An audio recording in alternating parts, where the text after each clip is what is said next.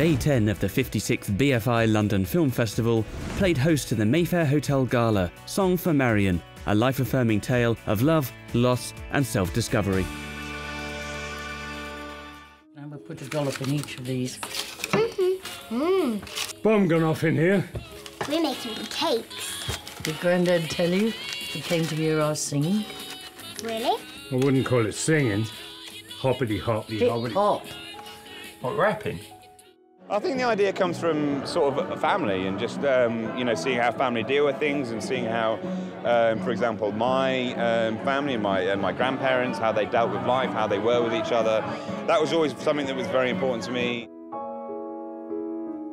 You're always looking for something that, that moves you in some way, or uh, you know, or that you can kind of identify with. And yeah, this one has such heart and genuine sort of soul to it. What spoke to me about it was it was a real human interest story. There were no kind of special effects. It was just beautifully written, and you can plumb your own depths with these kind of parts.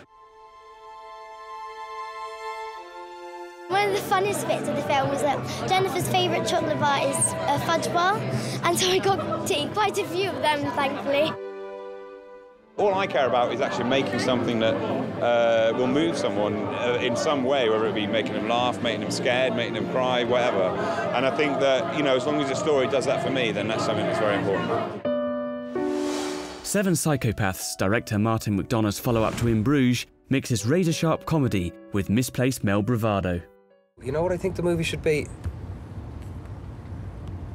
The first half should be like a perfect setup for an out and out revenge flick. Yeah. Violence, guns, all the usual bullshit, and then.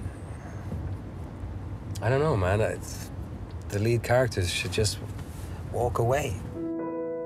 But I wanted it to be about love and peace instead of violence and gangsters. And it, the whole film is about the war between those two things. See the movie and see how to construct a screenplay with seven psychopaths in who uh, and refute all violence in the process, and then uh, you'll see something extraordinary. It worked very well. Film festivals, you have fans, fans of films, fans of filmmakers. They they come with an open mind to a movie, and that's a, that's always an exciting experience. But it's a comedy, and I hope they'll have fun.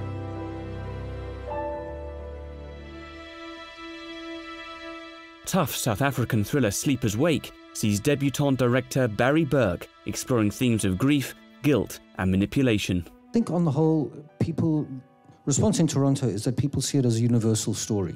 That it's a story about grief. Um, and I think people can relate to the fact that your reality can be shattered anywhere in the world at any time. Um, I think it has deeper significance for South Africans by virtue of the fact that we are a post-liberation community um, that is still struggling, you know, with v- vast amounts um, of inequality. Thank you so much for coming to London and uh, sharing this with us. Thank you so much. Keith, thank you. Thank you, everybody. We conclude our look behind the scenes of the festival and talk to a man without whom the show would not go on. My name is Russell. I work at the BFI. Uh, I work in the technical department. Uh, my main avenue of work here is working in the vaults, making sure all the films go in the right places at the right time. Basically, we've got so many films going from in here out to the different sites across London, and also they're playing here uh, and back again. I have to coordinate all that. Working here in the BFI, generally everyone just puts every ounce of effort they have, and basically most people don't sleep. And I love the fact that everyone's just excited to be a part of that festival.